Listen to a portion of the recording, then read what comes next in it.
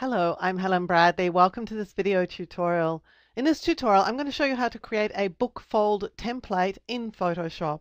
Before we get started with actually creating our template, let's look and see what book folding is all about. So we're just all on the same page here. Sorry for the pun.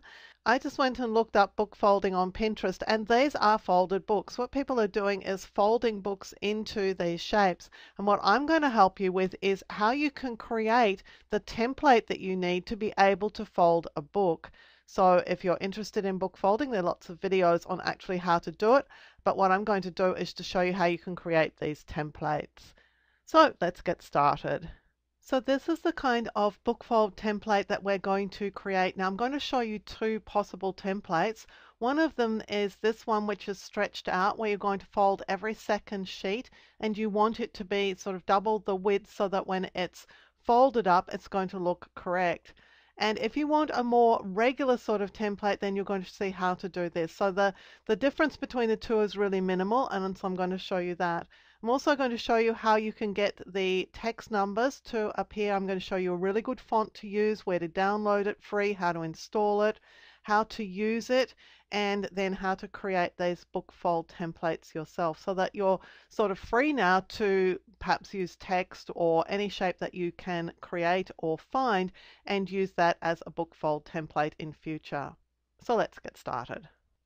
To get started, I've just created a brand new Photoshop document using File and then New, and mine is 2000 pixels by 2000 pixels.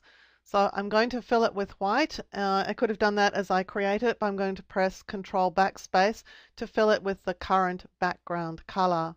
Now before I get started with the actual shape that I'm going to be working with, I need a pattern that I'm going to use for the lines. So I'm going to create a second document. I'm going to choose File and then New.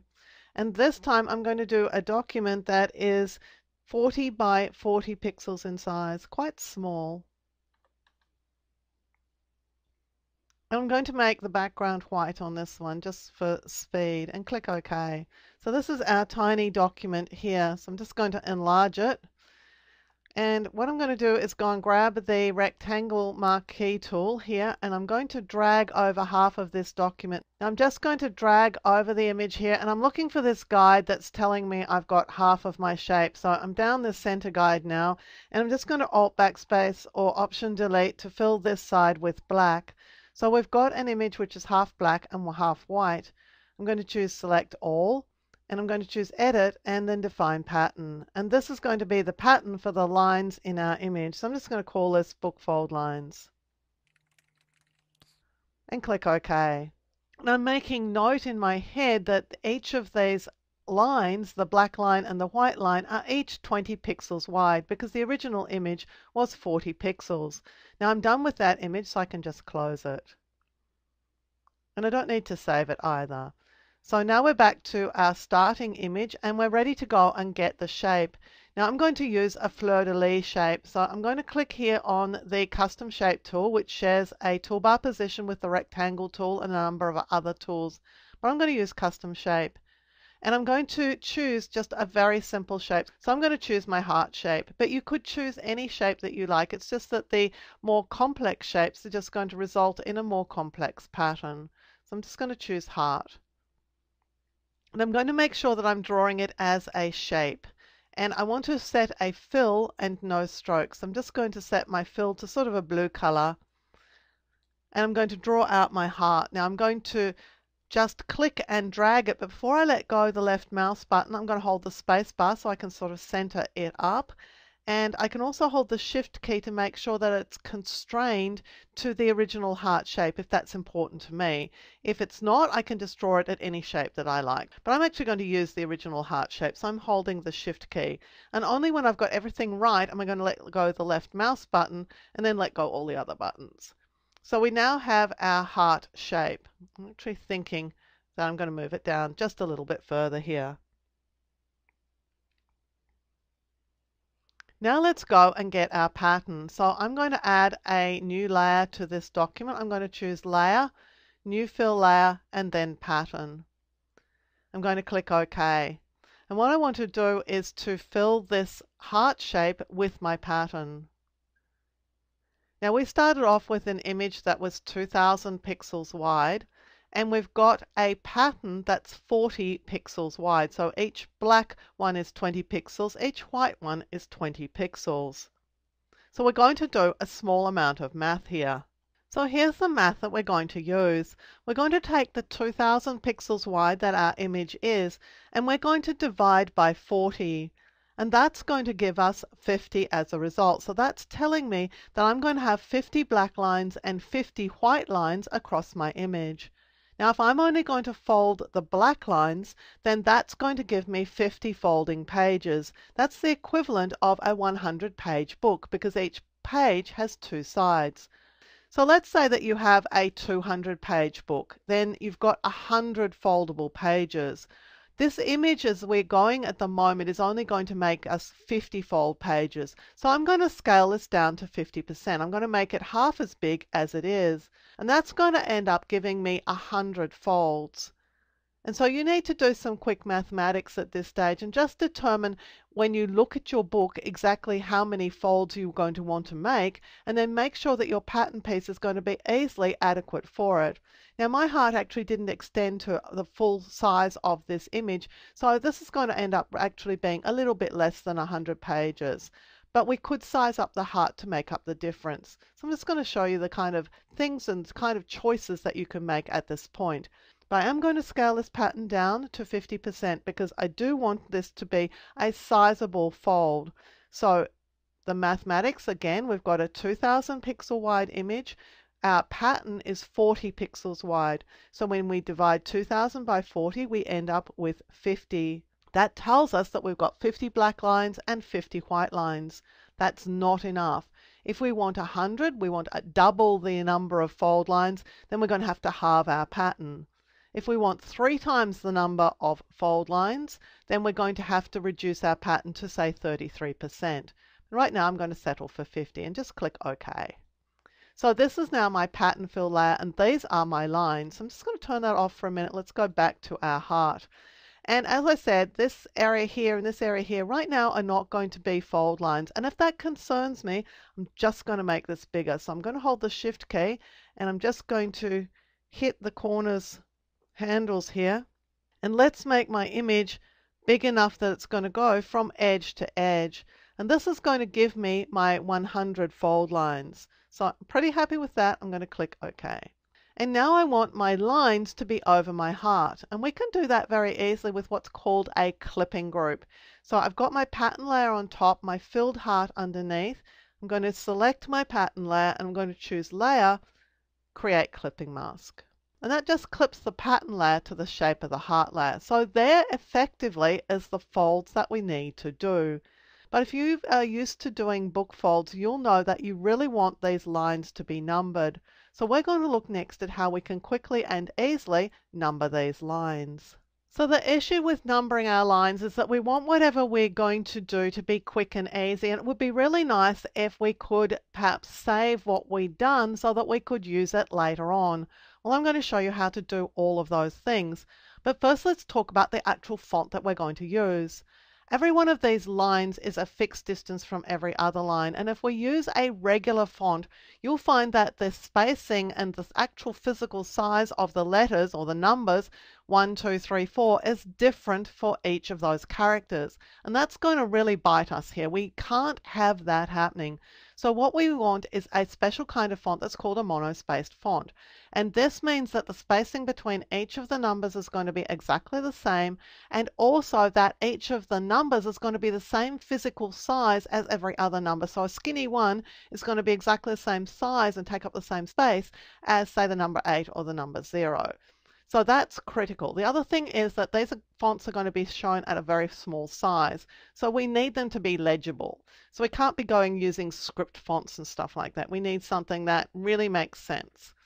And it would be really nice if it was free and if it were legal to be used. So what I've done is I've found a font for you. So what you'll need to do is go to 1001 free fonts and look up this font called Droid Sans Mono. Android Sans Mono is a programmer's font. It was designed to be seen and legible at small sizes, so that ticks one of our boxes.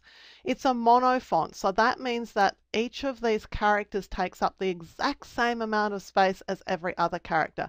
Again, that ticks a box for us. So it's legible at really small sizes. It's a mono-spaced font. It's also public domain. It's free and legal to download. So you're just going to click to download it. And when you download it, I've already done that a couple of times, so it's probably, yep, it's going to download again for me. What you'll do is you'll just double click to open it in something. Yep, okay, it's over here somewhere. Ah, here we are. It's open in my downloads folder. I'm just going to double click the font itself and this is what the font looks like and you're just going to click to install and as soon as you install it it's now available inside Photoshop. So I have the font Droid Sans Mono. Here it is here.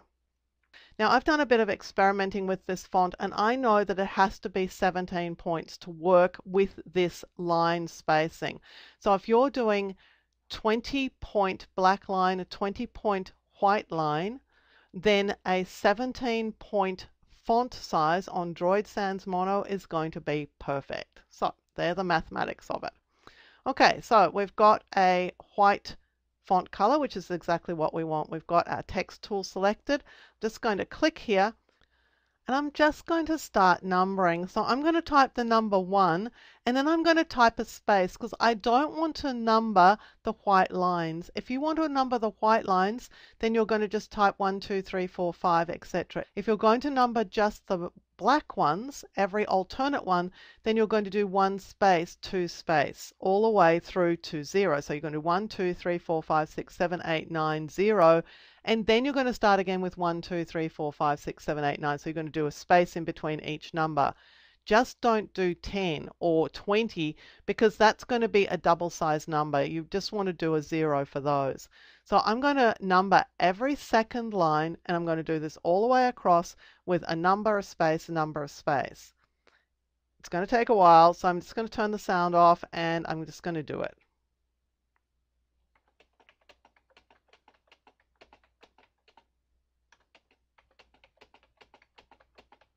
Okay, so I've now finished this and we can just zoom in and have a look. And all I need to do, because we've got the font size correct and the spacing correct, is just line this up so that the numbers are over every single one of these stripes. We can just check it all the way across.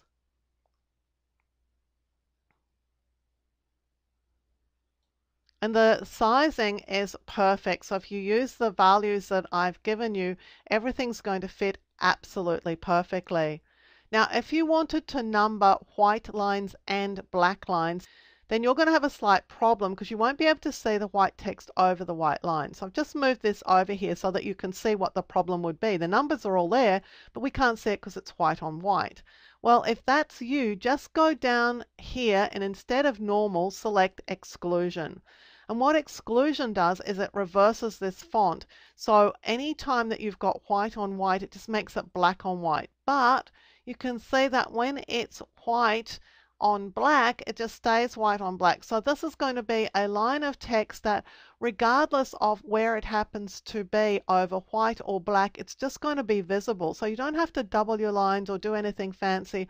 All you do is set this exclusion mode and your font is going to be able to be seen really, really easy and it's just going to adjust. So this is an awesome little trick that I wanted to show you, particularly for those people who want to number not only the black lines but also the white lines. So let's just zoom out.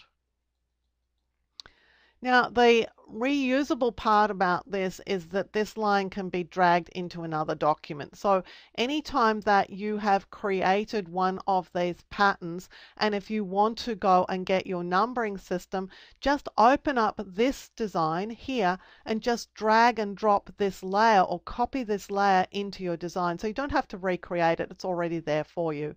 You could also develop a Photoshop action to do it. That would be easy too. But just think in terms of you're not going to have to retype this set of numbers every time if you don't want to. But even so, it's like it's a really small job to do and it really just does take a few seconds. So I'm just going to shrink this down. So this is our book pattern template. Now there are a few things to consider here and one of them is that for some people this template design might result in a too squashed up heart because you're only folding every black line the entire heart might be too squashed up. Well, the solution to this is to make your initial starting heart stretched out so that when it's folded, it's folded in a correct proportion. So I'm just going to turn my text off for a minute and I'm also going to turn my pattern layer off for a minute and we're going back to our heart layer. What I'm going to do with my heart layer is I'm just going to select it and I'm going to size it down. So that it is about half the size of this image. And then I'm going to do the unthinkable and I'm going to stretch it. So I'm just going to hold down the Alt key as I stretch this heart out. Now it's double the width that it would normally be, but if you're only folding every second line, then when you fold it, it's going to look like a regular shape heart. So if this is the way that you prefer to make your book fold templates, this is how to do it. Make your shape half the size of the sheet of paper and then go and grab the sides hold the Alt or Option key as you do it to stretch it out. Now everything else is just going to fit perfectly because we've already got these things on layers and because they're independent of what's below, let's go back and turn on our pattern layer. Well, there's the filled pattern and go and turn on our text layer. Here's our filled text really probably the only thing that we're going to have to do is to bring our text layer just down a little bit so it's positioned a little bit better over these lines across the middle of the heart. And if we had a shape that had gaps in it, so if you're creating a more complex shape that has different fold lines, so it's got sort of things happening down here and things happening down here that are independent of the main object, then you can just duplicate this text line. So just grab it and drop it onto the new layer icon, make a second copy of it, drag it out of the way, over the other area that you want to fold. And so that's going to be the same fold lines, the same numbered folds for this second and third area if you need them. So there are a lot of things here that you can do that's going to be flexible for how you like to create your book fold templates, but it certainly opens up a world of fold templates to you because you could create text, you can go and use Photoshop's own shapes. You can look for shapes on the internet and download them, install them into Photoshop and use them. Or you could perhaps use the pen tool or other tools here to create your own shapes and then recreate them as book fold templates. So I hope you enjoy your book folding experience. And if you're looking for a simple and quick way to create your own custom book fold templates, this is how you can do it in Photoshop. I'm Helen Bradley. Thank you for joining me for this video tutorial. Look out for more video tutorials here on my YouTube channel and consider subscribing to my channel and you'll be alerted when new videos are released and visit my website at projectwoman.com where you'll find more tips, tricks and tutorials on a range of applications including Photoshop, Lightroom, Illustrator and a whole lot more.